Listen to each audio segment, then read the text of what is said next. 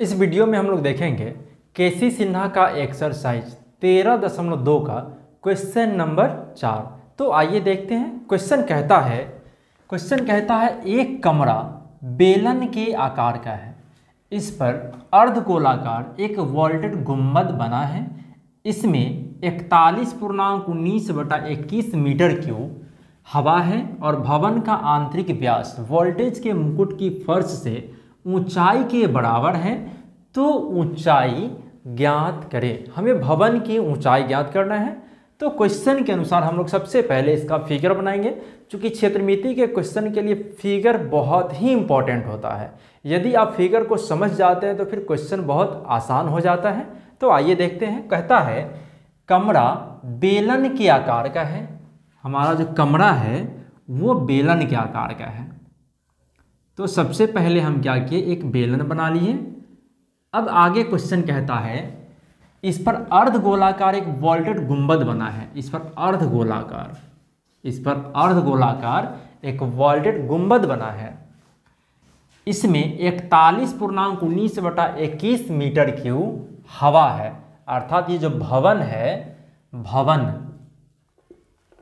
भवन में भरे हवा का आयतन।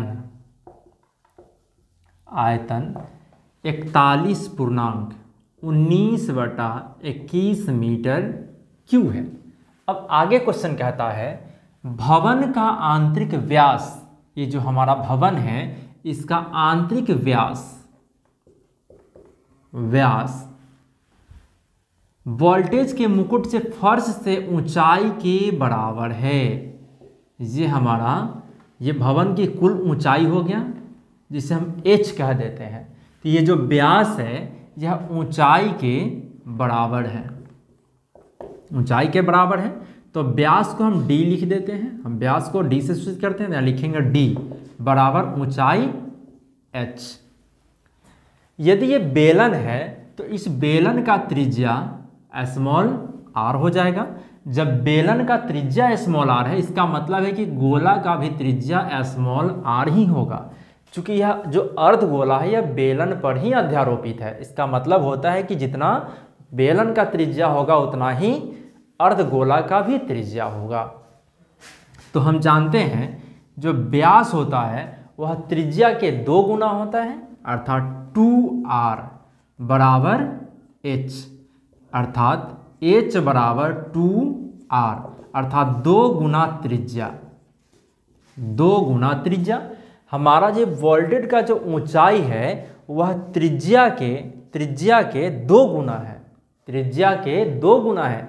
अर्थात यदि हमें इसका त्रिज्या मिल जाता है तो हम इस वोल्टेज की ऊंचाई जो है अर्थात इस जो कमरे की जो ऊंचाई है, वह आसानी से निकाल सकते हैं। तो सबसे पहले हम इसका त्रिज्या ज्ञात करेंगे।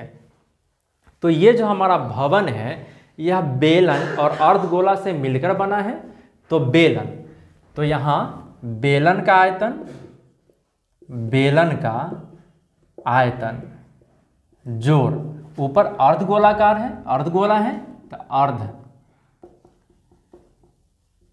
गोला का आयतन, अर्धगोला का आयतन, बराबर। ये इकतालीस पूर्णांक उन्नीस बटा इक्कीस है इसको हम लिख सकते हैं आठ सौ अस्सी बटा इक्कीस। आठ सौ अस्सी बटा इक्कीस। जब हम इसका पूर्णांक तोड़ेंगे तो हो जाएगा आठ सौ अस्सी बटा इक्कीस।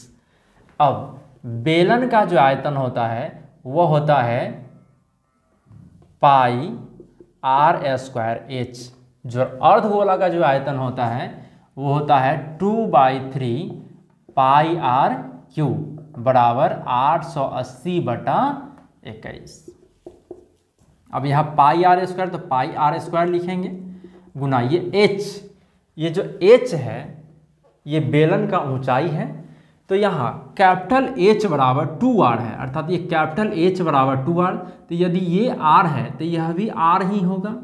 हम जानते हैं गोला का त्रिज्या है। जे आर है तो यह भी आर होगा, यह भी आर होगा, यह भी आर होगा, यह भी आर होगा। तो अर्थात ये अर्ध गोला का है यहाँ से यहाँ तक का जो ऊंचाई है, वो आर है।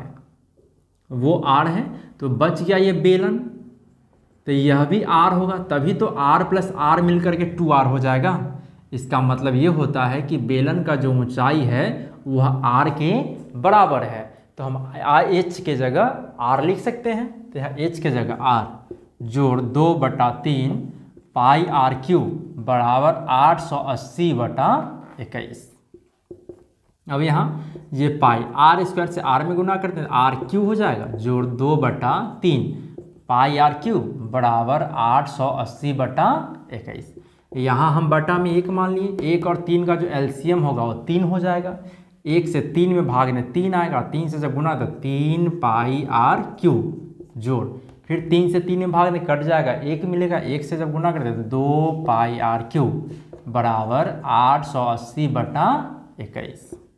अब तीन पाई आर क्यू और दो तो तीन और दो, पाँच पाई आर क्यू बटा में तीन, बराबर आठ सौ अस्सी बटा इक्कीस हो गया। अब यहाँ तीन सतह इक्कीस, ये कट जाएगा और पाँच से इसको काट दीजिए। पाँच इक्कीम पाँच, आठ बचेगा तीन, अड़तीस हो जाएगा, सात बचे पैंतीस, और फिर बचेगा ये पाँच तो तीन बच जाएगा तो छः पंचे तीस, कट जाएगा। तो मिलेगा pi R Q. Pi R Q तो पाई का जो वैल्यू है बाईस बटे सात और आर क्यू बराबर एक सौ छिहत्तर बटा सात हो जाएगा। अब ये सात से सात कट गया और बाईस अठे एक सौ छिहत्तर, अर्थात आर क्यू बराबर आठ हो गया। अब आर क्यू हम इस तीन को, क्यू को इधर भेज देते हैं तो ये हो जाएगा आर बराबर करनी में तीन और आठ। अब इसे हम लिए आठ को लिख सकते हैं। दो दुना, चार दुना, आठ। इस करनी का मतलब होता है कि जितना संख्या यहाँ तीन है, अर्थात तीन में से किसी एक को निकालेंगे। तीन में से दो हो जाएगा, अर्थात ये दो मीटर हमारा त्रिज्या हो गया। जब ये दो मीटर हमारा त्रिज्या हो गया तो हमें चाहिए ऊंचाई। तो ये एच बराबर, इसीलिए एच बराबर टू आर तो दो गुना आर का मान दो, अर्थात दो गुना चार मीटर। ये हमारा इस भवन का ऊंचाई हो गया। तो फ्रेंड्स यदि मेरा वीडियो पसंद है मेरे चैनल को लाइक करें सब्सक्राइब करें कमेंट करें, अपने दोस्तों से ज़रूर शेयर करें। Thank you